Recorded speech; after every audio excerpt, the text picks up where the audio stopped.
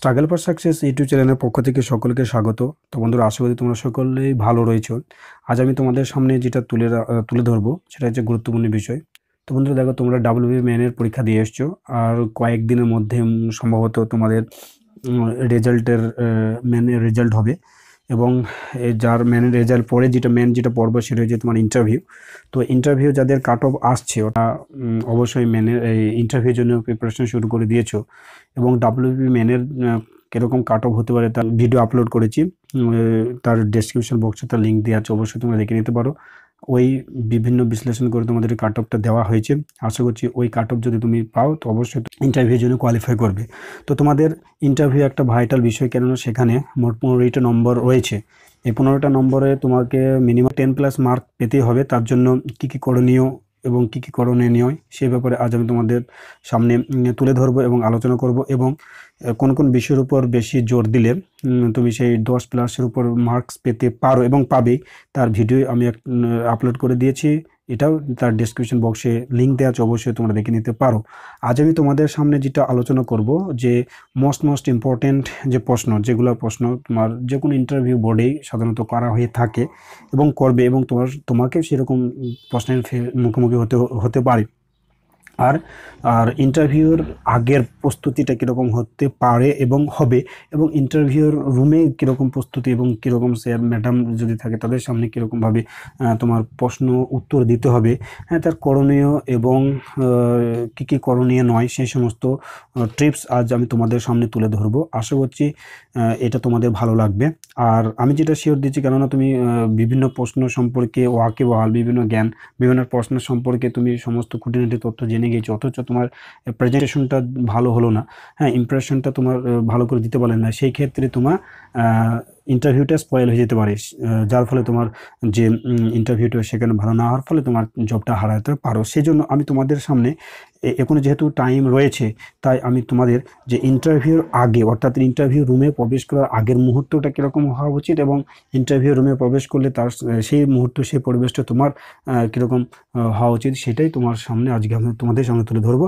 তো একটা কথা এটা মনে রাখবে যে first impression is the last impression অর্থাৎ তুমি যদি ফার্স্টে একটু ভালোভাবে প্রেজেন্টেশনটা করতে পারো। তো আশা করছি তোমার গোটা যে দশ থেকে বারো মিনিট যে ইন্টারভিউটা হবে, সেটা তোমার পক্ষে ভালো হবে। দেখো, আমি এটা তোমাদের সামনে তুলে ধরেছি যে ফার্স্ট যেটা টপিকগুলোর উপর নজর রাখতে হবে যে ইন্টারভিউ রুমে প্রবেশের আগের প্রস্তুতিটা কীরকম হবে। আমি তোমাদের সামনে মোট আটটা প্রশ্ন বা বিষয় তুলে ধরেছি। এই আটটা বিষয় তোমাদেরকে অবশ্যই মেনে চলতে হবে, নইলে কিন্তু তোমাদের পক্ষে ইন্টারভিউটা ভালো স্কোর করা সম্ভব হবে না। প্রথম যেটা হচ্ছে মানসিক প্রস্তুতি থাকতে হবে। তো ইন্টারভিউ দেখবে তোমার সাথে অনেকজনের ওয়েটিং রুমে অনেকজন বসে থাকবে। তো সেখানে তোমাকে, তুমি থাকবে, সেখানে বেশি কারোর সাথে কথা বলা যাবে না। তোমার মানসিক প্রস্তুতিটা সেখানে একদম স্মার্টনেসভাবে মানে রাখতে হবে।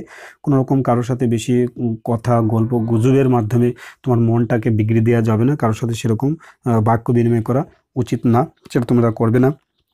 এই মানসিক প্রস্তুত অবশ্যই তোমাকে সেখানে রাখতে হবে। দুই নম্বর হচ্ছে দেখো আত্মবিশ্বাস স্মার্টনেস এবং তুমি যতটা জানো সেইটার ব্যাপারে তোমাকে আত্মবিশ্বাস এবং স্মার্টনেস থাকতে হবে। কে আমার থেকে বেশি জানলো বা আমি তার তার থেকে বেশি জানি এরকমভাবে তোমাদের মনে আনলে হবে না। কেননা তোমরা বন্ধু বা যেখানে তোমরা যে ওয়েটিং থাকবে, বিভিন্ন সাথে আলোচনা করলে দেখা যাবে নিজের ডিমোটিভেশন হয়ে যাবে। সেই জন্য মানসিকভাবে এবং আত্মবিশ্বাসের সাথে সেখানে বসে থাকবে। দুই নম্বর হয়েছে তিন নম্বর যেটা হয়েছে মেন যেটা পরিমার্জিত পোশাক। পোশাকটা তোমাকে অবশ্যই, কেননা পোশাকে তোমাকে ইমপ্রেশনটা তোমাকে বাড়িয়ে দেবে। সেই জন্য অবশ্যই একটা পরিমার্জিত হ্যাঁ পোশাক তোমাকে পরে যেতে হবে। তার জন্য আমার যে সাজেশন যেটা থাকবে, অবশ্যই তোমরা একটা কালো রঙের প্যান্ট এবং শার্টটা যদি সাদা হয় তাও ভালো। যদি না হয় আকাশি নীল হালকা অথবা ক্রিম কালার অথবা তোমার ঘিয়ে কালার এইগুলা তুমি পরতে পারো। আর অবশ্যই সেটা ফুল হাতা হবে এবং ফুল হাতা হবে। তোমরা বেল্ট পরবে এবং পোশাকটা অবশ্যই রিন করা থাকবে প্রেস ভালো করে একদম করা যাবে এবং তুমি অবশ্যই ইন করে থাকবে। এটার উপর আমার একটা তোমার ইমপ্রেস মানে নির্দেশ। পোশাকটা কিন্তু তোমাকে একটু ভালো হতে হবে। তুমি সেক্ষেত্রে যদি স্বাচ্ছন্দ্য বোধ করো যে কট টাই পরার ক্ষেত্রে তুমি সেটা পরতে পারো। কেন সেটা তোমার উপর, তাতে তোমার খারাপ কিছু হবে না, যে সবাই কোট পরে না, আমি কোট পরেছি, এটার কোনো ব্যাপার নয়। তোমার সেই, অর্থাৎ পরিমার্জিত পোশাক তোমার ম্যান কেননা ইমপ্রেশন তোমাকে পোশাকের মাধ্যমে পরিষ্কার মানে দেবে। দুই নম্বর গিয়ে তোমার চুলটা যে স্টাইল সেটা হচ্ছে সাধারণভাবে চুল কাটতে হবে কোনো রকম হিরো কোনো স্টারদের মতো তোমার চুল কাটা চলবে না, একদম পরিমার্জিত সাধারণভাবে চুল কাটবে, কেননা তুমি একটা জবে যাচ্ছ, একটা বিশেষ করে পুলিশ, সেরকম একটা জবে তুমি যাচ্ছ, তো সেই ক্ষেত্রে তোমার পোশাকটা যেরকম মার্জিত হবে, সেই পোশাক মানানো সেটা চুলটা তোমাকে সেভাবে কেটে দেবে। কোনো রকম স্টারদেরকে কোনো ফলো করা যাবে না, কোনো ক্রিকেটার প্লেয়ারদের কোনো ফলো করা যাবে না, একদম জাস্ট সাধারণ সিম্পলভাবে তুমি চুলটা কেটে যাবে।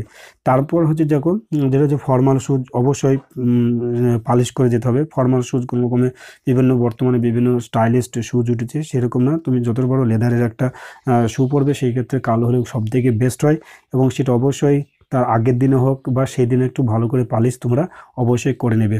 ওকে তার তারপর হচ্ছে দেখো যে সমস্ত প্রয়োজনীয় ডকুমেন্টস কভার ফাইলে নিতে হবে। মানে মেন যেটা ডকুমেন্টস তোমার যে, যা যা প্রয়োজনীয় তথ্য, তোমার কাস্ট সার্টিফিকেট থেকে শুরু করে মাধ্যমিক উচ্চ মাধ্যমিক, অর্থাৎ তোমার লাস্টে যে কোয়ালিফিকেশন এবং তুমি যে জবের জন্য ইন্টারভিউ যাচ্ছ, সেই ইন্টারভিউয়ের জবের জন্য যে সমস্ত রিলেটেড ডকুমেন্টস তোমার দরকার, সেই সমস্ত ডকুমেন্টস তোমার একটা ফাইলে তার আগের দিনে ভালো করে কভার ফাইলে সুন্দর করে রেখে কিন্তু তুমি রেখে দেবে এবং সেটা নিয়ে যাবে। তারপর যেটা হচ্ছে সাত নম্বর যেটা পয়েন্টস দেখো দেওয়া আছে পুলিশ ডিপার্টমেন্ট সম্পর্কে খুঁটে খুঁটিনাটি তথ্য। কেন তুমি পুলিশ সম্পর্কে আহ, পুলিশের জব করতে যাচ্ছ সেই সেই জন্য পুলিশ ডিপার্টমেন্ট সম্পর্কে তোমাকে যাবতীয় খুঁটিনাটি তথ্য জেনে যেতে হবে। যার ফলে তোমার কনফিডেন্টটা বাড়বে এবং তোমাকে সেই ব্যাপারে প্রশ্ন করতে হবে করবে সেটা তোমাকে জানতে হবে। কেননা তোমাকে তো একটা পুলিশের জব দেবে। সেই সম্পর্কে ডিপার্টমেন্টে তোমাকে যদি সম্পর্কে যদি তুমি না জেনে থাকো তাহলে তোমাকে কেন জবের জন্য সিলেক্ট করবে? সেই জন্য তোমাকে সেই পুলিশের যাবতীয় ডিপার্টমেন্ট তুমি কনস্টেবল হতে পারো, তুমি এসআই হতে পারো নিম্নমানের চাকরি হতে পারো, পুলিশের একদম শেষ বললাম যে কনস্টেবল তো সেক্ষেত্রে কনস্টেবল হলে তোমাকে কনস্টেবল সম্পর্কে জানতে হবে তা না, তোমার ডিপার্টমেন্ট একদম উঁচু তলা থেকে, একদম নিচু তলা পর্যন্ত, অর্থাৎ উচ্চ পদস্থ থেকে নিম্ন পদস্থ, তোমার র্যাঙ্ক পর্যন্ত যাবতীয় যা আছে, সমস্ত খুঁটানের তথ্য তোমাদেরকে জানিয়ে যেতে হবে। তার জন্য তুমি উইকিপিডিয়া এবং বিভিন্ন ইউটিউব চ্যানেল বলো বা আমাদের ইউটিউব চ্যানেল থেকে তুমি হেল্প নিতে পারো। তারপর হচ্ছে সব থেকে বড় যে পয়েন্ট সেটা হচ্ছে আট নম্বর পয়েন্ট আত্মবিশ্বাস এবং সেলফ কনফিডেন্সের সহিত তোমাকে ঘরে প্রবেশ করতে হবে। ফার্স্ট যেটা মানসিক বস্তুতে আত্মবিশ্বাস স্মার্টনেস থাকতে হবে, তোমার প্রবেশটাও কিন্তু স্মার্টনেসভাবে এবং সেলফ কনফিডেন্সের সহিত তোমাকে ইন্টারভিউ রুমে প্রবেশ করতে হবে। তারপর যেটা হবে যে ইন্টারভিউ রুমে প্রবেশ করার পরে ইন্টারভিউ রুমে প্রবেশ করার পরে যে সমস্ত করণীয় জিনিসগুলো তোমাকে করতে হবে সেইগুলো হচ্ছে মেন যেটা হচ্ছে, দেখো লেখা রয়েছে যে ফার্স্ট যেটা আমি বলব, আমার তরফ থেকে যেটা তোমাদের কাছে সাজেশন থাকবে, যে দরজা আস্তে করে খুলে লাইটলিভাবে তুমি অনুমতি নেবে। ঠিক আছে, তুমি ইংলিশে বলতে পারো বাংলা বলতে পারো মেহে কামিন স্যার স্যার আমি আসতে পারি এবং কোন নম্র ভদ্রতার সাথে তুমি প্রবেশ করো। এই যে তুমি যে প্রবেশ করছ, এইটা হচ্ছে তোমার ইন্টারভিউয়ের মেন কেন ওই যে তোমার প্রবেশ থেকে, তুমি যে ঘর থেকে যে দরজার ঠেলে প্রবেশ থেকে শুরু করে, স্যারদের অনুমতি নিয়ে চেয়ারে বসা এই যে টোটাল ব্যাপারটাই কিন্তু স্যারদের উপর একটা ভালো ইমপ্রেশন ফেলতে হবে। এখানেই তোমার ইন্টারভিউ কিন্তু নাইনটি পার্সেন্ট ইন্টারভিউ তোমার দেওয়া হয়ে গেল। সেই জন্য এই ইমপ্রেশনটা এই যে স্মার্টনেসটা এটা তোমার কিন্তু ভালোভাবে প্রতিফলিত করতে হবে। আবার আমি বলছি first impression is the last impression তুমি ফার্স্টেই যদি স্যারদের মন জয়কে তোমার পেরে যাও, তাহলে আশা করছি তোমার ইন্টারভিউ ভালোই হবে। তারপর দু নম্বর যেটা পয়েন্ট আছে শেয়ারদের অনুমতি নিয়ে তুমি চেয়ারে বসবে। শেয়ার যতক্ষণ না পর্যন্ত অনুমতি দেবে, ততক্ষণ পর্যন্ত তুমি চেয়ারে বসবে না। কোনো কোনো ক্ষেত্রে দেখা যায় চেয়ারটা কিন্তু তোমার বিভিন্নভাবে বাঁকানো থাকতে পারে। সেটাও কিন্তু তুমি আস্তে করে নিজের পজিশন অনুযায়ী তুমি বসে মানে ঠিক করে নেবে এবং বসবে। কোনো রকম মানে শব্দ না হয়। তোমার যে স্পিকিং পাওয়ারটা কীরকম, তোমার কণ্ঠস্বরটা কীরকম, তুমি স্যারদের সাথে কীরকমভাবে কথা বলছো, সেই ধরনটা দেখার জন্য অনেক ক্ষেত্রে দেখা যায় যে স্যারদের টেবিল থেকে চেয়ারটা একটু দূরে থাকতে পারে। তাই বলে তুমি কিন্তু চেয়ারটা কখনো স্যারদের টেবিলের সামনে দিকে নিয়ে আসবে না। যেখানে থাকবে সেখানেই তোমাকে নিয়ে বসতে হবে এবং তোমার কনফিডেন্ট লেভেলটা ওরা সেখান থেকে পরীক্ষা করে নেবে।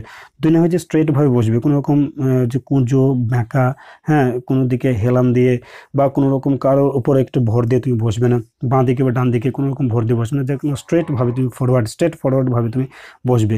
আর বসার সময় অবশ্যই যে তোমার হাতে যে কভার ফাইলটা থাকবে বা তোমার যে ডকুমেন্টস সেটা অবশ্যই শের স্যারদেরকে অনুমতি নিয়ে শেরদের হাতে হ্যান্ডেড ওভার করে দেবে। তারপর তোমার যে হাতে যে হাত দুটো অবশ্যই পায়ের সাথে খুব ভালোভাবে মানে পায়ের উপর রাখবে। তারপর স্যাররা যে প্রশ্নগুলো করবে সেই প্রশ্নগুলো খুব সুন্দরভাবে আমাকে শুনবে। শোনার পর হ্যাঁ সেইগুলা তোমার স্যারদের চোখে চোখ রেখে, যে স্যার প্রশ্ন করবে, সেই স্যারের দিকে চোখে চোখ রেখে দেখা গেল যে তোমার ইন্টারভিউ থেকে দুই থেকে তিন বা চারটি পর্যন্ত মেম্বার থাকতে পারে। তো সেই স্যারদের যে চোখের চোখ রেখে তুমি সংক্ষিপ্ত, যতটা পারবে সংক্ষিপ্তভাবে এবং পরিমার্জিত ভাষায়, বিশেষ করে সহজ, সরল এবং তোমার চলতি ভাষায় অ্যান্সার দেবে। অ্যান্সার দেওয়ার সময় অবশ্যই কনফিডেন্ট সহকারে অ্যান্সার দেবে। কোনো রকমভাবে তুমি হেজিটেট ইতস্থিত বোধ করবে না। উত্তর যদি তোমার সেক্ষেত্রে যদি জানা না থাকে, তা অবশ্য জানি না, স্যার। সেটা নম্র ভদ্র পোলাইটভাবে বলবে যে, আমি জানি হাফ জানি হাফ জানি না।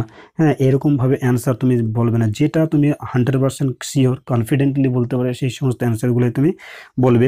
কোনো রকম আমতা আমতা করে বলবে না। হ্যাঁ অর্ধেক হবে অর্ধেক হবে, এরকম হবে না। আর একটা যেটা মেন যেটা পয়েন্ট অযথা যুক্তি উত্তর দেবে না। এরকম হতে পারে, দেখা গেলো যে কোনো একটা তুমি অ্যান্সার কোনো একটা প্রশ্নে তোমাকে অ্যান্সার বলতে বলা হলো, তুমি অ্যান্সার বললে, কিন্তু স্যার সেই অ্যান্সারের ক্ষেত্রে তুমি যথোপযুক্ত বললে না। এরকম তোমার স্যার যুক্তি দিল বা স্যার মানে সেই ক্ষেত্রে তোমার মানে মেনে নিতে পারলে না। যে তুমি কখনোই বলবে না না স্যার এটা আমি জানি এটা আমি অমুক বই পড়েছি অমুক জায়গা থেকে আমি কালেক্ট করেছি। এরকমভাবে তুমি কোনোরকম বলবে না কোনো রকম স্যারদের সাথে কোনো যুক্তি তর্কে যাবে না। কেননা তুমি যে স্যারের সামনে উত্তর দিচ্ছ উম, আর যারা স্যারা পুলিশের ডিপার্টমেন্ট হলে কিন্তু দেখা গেলো যে স্যারা পুলিশ যে কোনো পোশাক পরে থাকবে না সিভিল ড্রেসে থাকবে সে তারা হয় কোনো আইপিএস অফিসার হতে পারে কোনো ডিএসপি হতে পারে কোনো পুলিশ সুপার হতে পারে। এই মানে এরকম মানে হাই র্যাঙ্কের উচ্চপদস্থ আধিকারিকরা তোমার ইন্টারভিউ নেবে। তার তারা অবশ্যই যুক্তি এবং আহ, যুক্তিবান এবং ইন্টেলিজেন্স সেই ক্ষেত্রে তুমি বেশি মানে যুক্তি তর্কে যাবে না। যদি ইন্টারভিউ শেষ হলে সেদের অনুমতি নিয়ে ঘর থেকে বাইর হবে। কোনো রকমভাবে হয়ে গেলে তাড়াহুড়ো করে বাইর হবে না। এই যে তোমার, এই যে টোটাল যে কুড়িটা পয়েন্টস অর্থাৎ ইন্টারভিউ যাওয়ার আগের যে প্রস্তুতি আটটা এবং তারপরে যে বারোটা পয়েন্ট আমি তোমাকে শেয়ার করলাম। আশা করছি তোমরা যদি এই রকম পয়েন্টগুলো যদি তোমরা যে প্রস্তুতি এখন থেকে মানে মনের মধ্যে গেঁথে নাও। তাহলে আশা করছি তোমাদের ইন্টারভিউটা অবশ্যই ভালো হবে। তারপর তো তোমাদের বিভিন্ন যে প্রশ্নগুলো ফেস করতে সেগুলো তো আমি এরপরে ভিডিওতে আপলোড করতে চলেছি। তো ইন্টারভিউ শেষ হলে অবশ্যই তোমার একটা মনে রাখতে হবে যে ইন্টারভিউ রুমে প্রবেশ। ভদ্রতার সহার্থে প্রবেশ, প্রশ্নোত্তর পর্ব এবং শেষ, অর্থাৎ টোটাল যে দশ থেকে বারো মিনিট ভাবে, যে বারো মিনিট তোমাকে যাচাই করা হবে, সেখানে তুমি মেন্টালি কনফিডেন্টলি সাথে কনফিডেন্সের সাথে আমাকে অ্যান্সারটা মানে মানে এই পর্বটা শেষ করতে কোনো রকমভাবে নার্ভাস ফিল বা হেজিটেশন করা যাবে না। যদি বা নার্ভাস ফিল হতে মানে হ- হওয়া এটা স্বাভাবিক, কেননা নার্ভাস সকলের ক্ষেত্রে ওখানে এটা কার্যকরী ব্যাপার মানে সেখানে আসবে। তবে অতিরিক্ত নার্ভাস হবে না, আর হা, মুখটা কিন্তু অবশ্যই হাসি মুখে রাখতে হবে। কোনো রকমভাবে নার্ভাস তোমার ফিল মনে হলেও যেন মুখটা যদি তোমার হাসি মুখ থাকে, সেই ক্ষেত্রে অনেকটা কভার করা যায়। কেন তোমার মুখটাই যদি হাসি মুখ না থাকে, তাহলে তোমার চোখে মুখ দিয়ে সেই তোমার নার্ভাসনেসটা মানে সেটা বুঝে ফেলবে।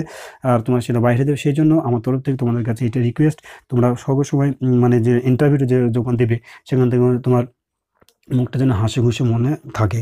এবার যেটা আমরা তোমাদের সাথে যেটা মানে এটা প্রশ্ন হতে পারে যে যে কি কি প্রশ্ন আমাদের হতে পারে হ্যাঁ? যে মেন যেটা প্রশ্ন, আমার তরফ থেকে তোমাদের কাছে যেটা, আমার যেটা মনে হয়েছে যে মোট ছটি টপিকের উপর কিন্তু তোমাদের উপর প্রশ্ন হতে পারে। যে যে ছটা টপিকের উপর কী কী টপিক, সেটা আমি তোমাদের এই ভিডিওতে একটু আলোচনা করছি ডিটেলস কিন্তু ওই ভিডিওটা আলোচনা করেছি।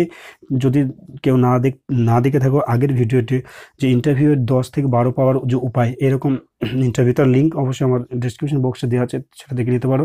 এবার কী কী ইম্পর্ট্যান্ট প্রশ্ন হতে পারে? সেই প্রশ্ন সম্পর্কে কিন্তু তোমাদের আমি আলোচনা করব। প্রশ্নগুলো কিন্তু তোমার ক্ষেত্রে খুবই ভাইটাল এবং এই প্রশ্নগুলো কিন্তু তোমাকে ভালো করে জেনে যেতে হবে। এবং প্রতিটা প্রশ্নে এই যে ছটা টপিক আমি বলে যেগুলো personal questions educational question emotional confusion argumental questions তারপর জব ওরিয়েন্টাল যে পুলিশ ডিপার্টমেন্ট বা one area district state current affairs বা স্ট্র্যাটেজিক এই যে টোটাল যে ছটা টপিক মানে দেওয়া হয়েছে।